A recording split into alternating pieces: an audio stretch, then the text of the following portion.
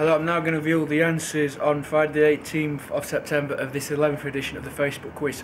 I asked uh, the, fir- the first question, what did I have for lunch at college Thursday? I had sausage and chips.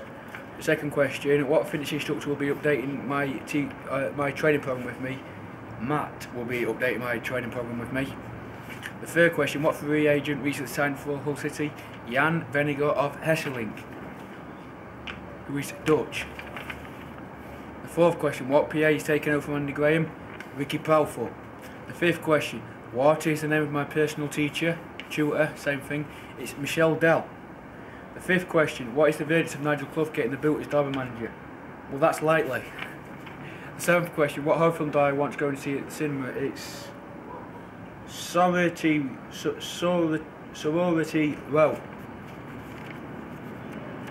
Eighth question, what room I in? What room am I in for a tutorial? I'm in A208. The ninth question, what do I have at the cinema? I have pop, I have a popcorn and a bottle of water.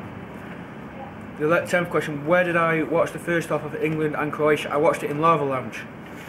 The eleventh, the eleventh question, what is the verdict of the? I what is sorry, no, yeah. What is the ver- what, What's the verdict of me getting NVQ retail skills level one? Well, that's even chance.